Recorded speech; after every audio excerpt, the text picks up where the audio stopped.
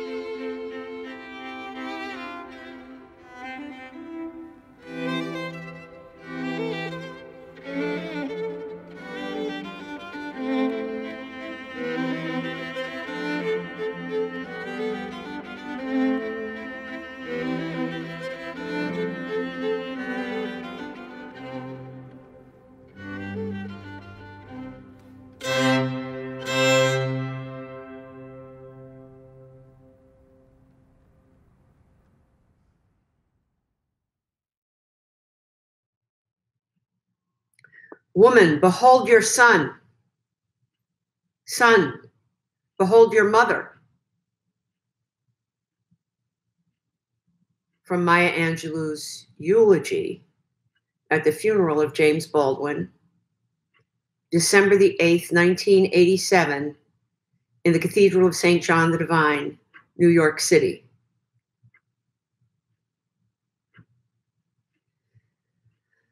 I will speak of James Baldwin, my friend and brother. A short brown man came to the door and looked at me. He had the most extraordinary eyes I'd ever seen. When he completed his instant x ray of my brain, lungs, liver, heart, bowels, and spinal column, he smiled and said, Come in. And opened the door. He opened the door all right. I knew Jim loved me when he gave me to Gloria and Paula, Wilmer, and David Baldwin, and all the rest of his siblings. And when he took me to Mother Baldwin and said, Just what you don't need, another daughter, but here she is, I knew that he knew Black women may find lovers on street corners or even in church pews, but brothers are hard to come by and are as necessary as air and as precious as love. James Baldwin knew that Black women in this desolate world, Black women in this cruel time, which has no soundness in it, have a quiet need for brothers. He knew that a brother's love redeems a sister's pain. His love opened the unusual door for me, and I am blessed that James Baldwin was my brother.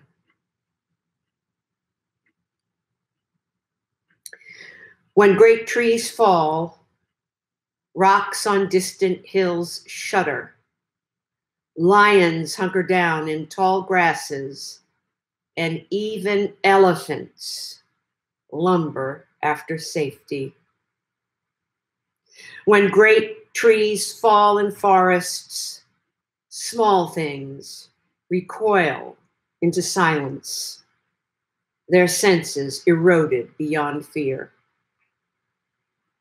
When great souls die, the air around us becomes light, rare, sterile. We breathe briefly. Our eyes briefly see with a hurtful clarity. Our memory, suddenly sharpened, examines, gnaws on kind words unsaid. Promise walks, never taken. Great souls die, and our reality, bound to them, takes leave of us. Our souls, dependent upon their nurture, now shrink, wizened. Our minds, formed and informed by their radiance, fall away. We're not so much maddened as reduced to the unutterable ignorance of dark, cold caves. And when great souls die, after a period, peace blooms slowly and always irregularly. Spaces fill with a kind of soothing electric vibration. Our senses restored never to be the same. Whisper to us. They existed. They existed. We can be. Be and be better. For they existed.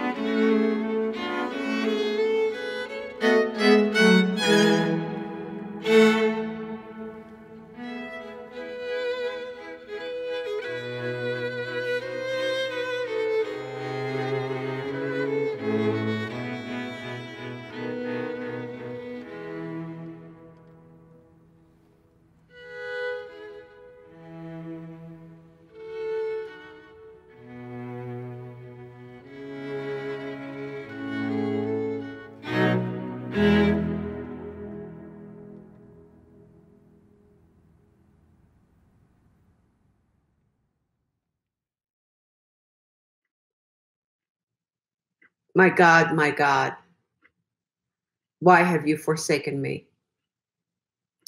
From James Baldwin's Go Tell It on the Mountain. In his heart, there was a sudden yearning tenderness for holy Elisha, desire, sharp and awful as a reflecting knife, to serve the body of Elisha and lie where Elisha lay, to speak in tongues as Elisha spoke, and without authority to confound his father. Yet this had not been the moment. It was as far back as he could go. But the secret, the turning, the abysmal drop was farther back in darkness. As he cursed his father, as he loved Elisha, he had even then been weeping. He had already passed his moment, was already under the power, had been struck and was going down. Ah, uh, down. And to what purpose? Where? To the bottom of the sea, the bowels of the earth, to the heart of the fiery furnace, into a dungeon deeper than hell, into a madness louder than the grave, what trumpet sound would awaken him? What hand would lift him up? For he knew as he was struck again and screamed again, his throat like burning ashes.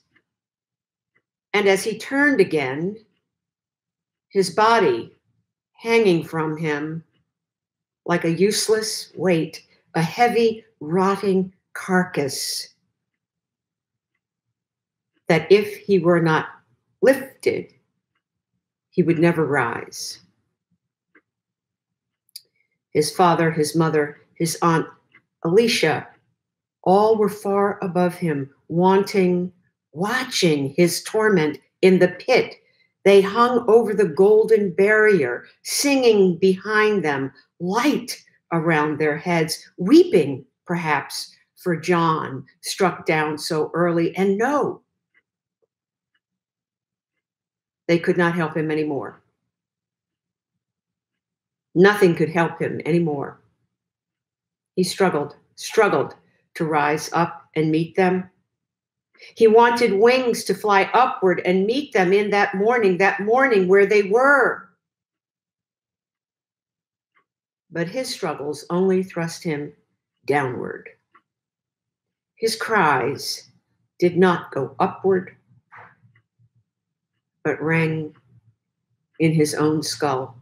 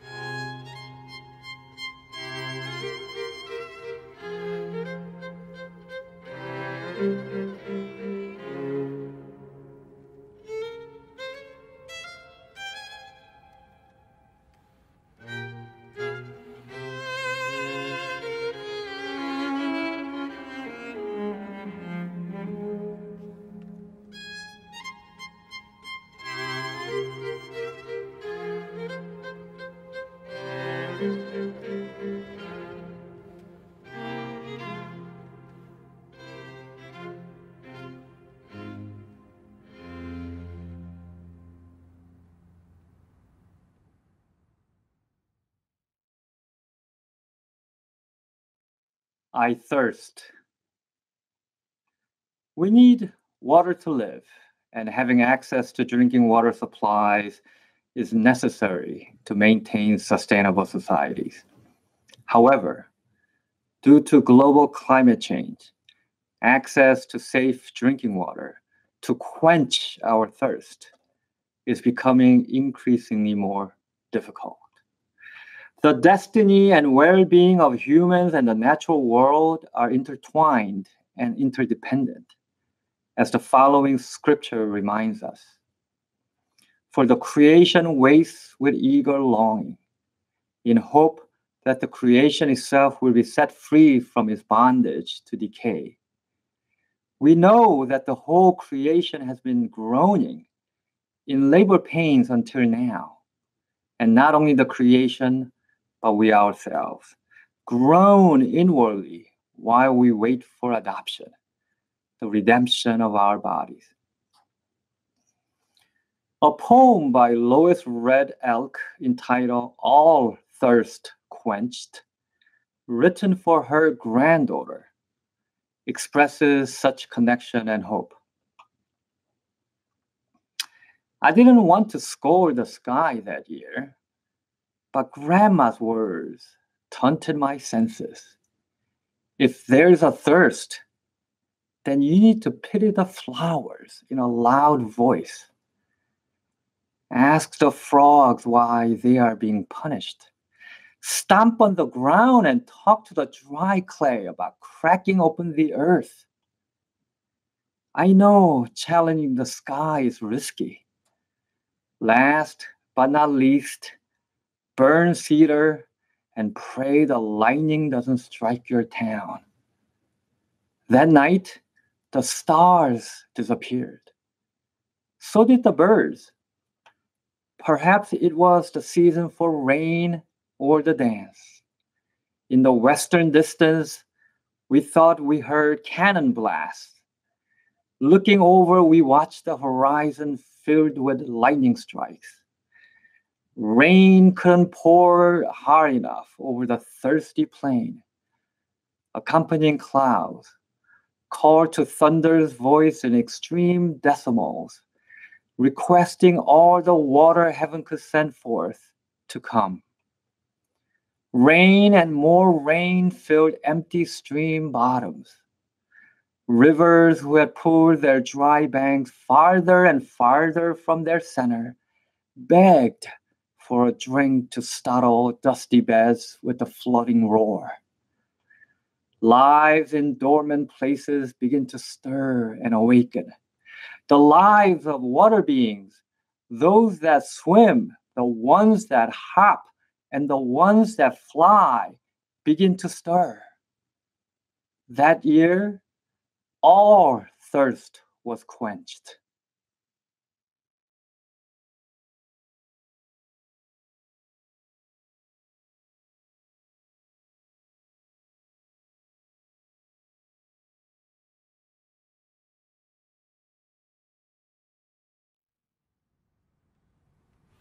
Música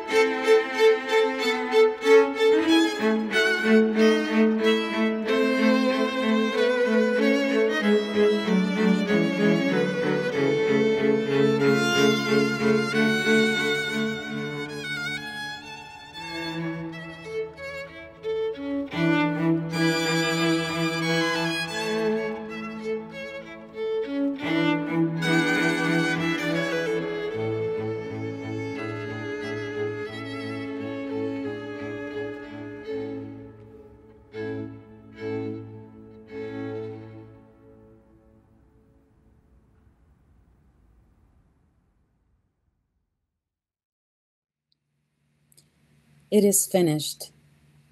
Indigenous people throughout history have been killed in large numbers, and our leaders have been humiliated. Our rituals have been demonized. Our natural resources and land have been stolen, and our culture has been appropriated. And during all that time, colonizers have thought, it is finished, but it wasn't.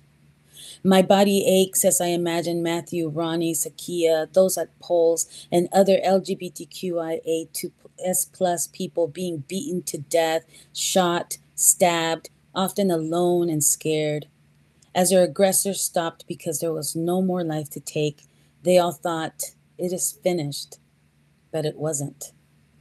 The people who murdered Fred, Malcolm, Martin, Medgar, Robert, and others for being civil rights activists, for threatening the status quo and the power of white supremacy, thought as they saw their victims take their last breath, it is finished. But it wasn't. Venus, Amanda, Alexa, and so many other trans people, particularly trans brown and black women, are murdered every year, and their murderers may triumphantly think it is finished, but it isn't.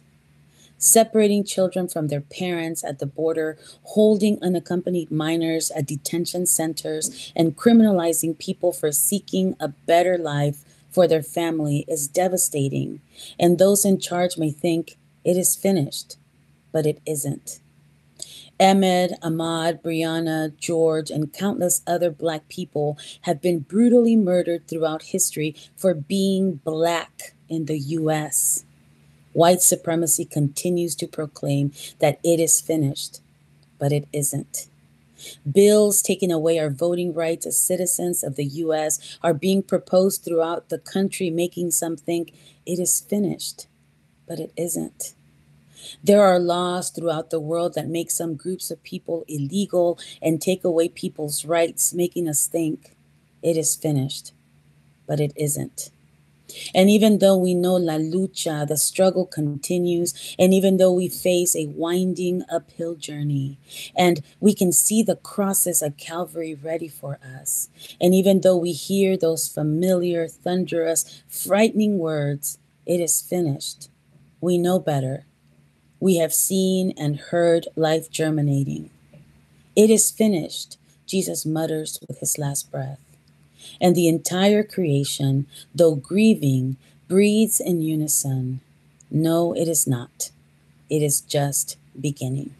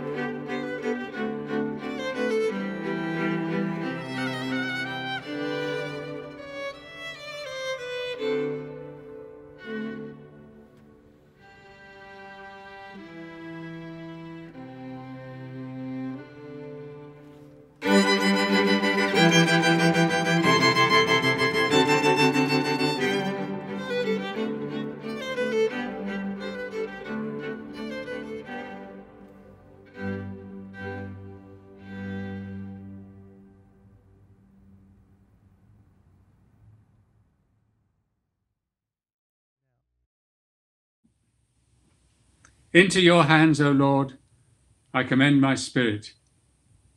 Poet Wilfred Owen trained young men for the front, and he wrote to Osbert Sitwell in July 1918 I see to it that he is dumb and stands to attention before his accusers. With a piece of silver I buy him every day, and with maps make him familiar with the topography of Golgotha. Here's the poem. So Abram rose and clave the wood and went and took the fire with him and a knife. And as they sojourned both of them together, Isaac the firstborn spake and said, My father, behold the preparations, fire and iron, but where the lamb for this burnt offering? Then Abram bound the youth with belts and straps, and builded parapets and trenches there, and stretched forth the knife to slay his son. When lo, an angel called him out of heaven, saying, Lay not thy hand upon the lad, neither do anything to him. Behold, a ram, caught in the thicket by the thorns, offer the ram of pride instead of him. But the old man would not so, but slew his son, and half the seed of Europe one by one. Yet we still call this Friday good, for the mystery of mercy it accomplishes in us. The great William Langland wrote, And all the wickedness in the world that man might work or think is no more to the mercy of God than a live coal dropped into the sea.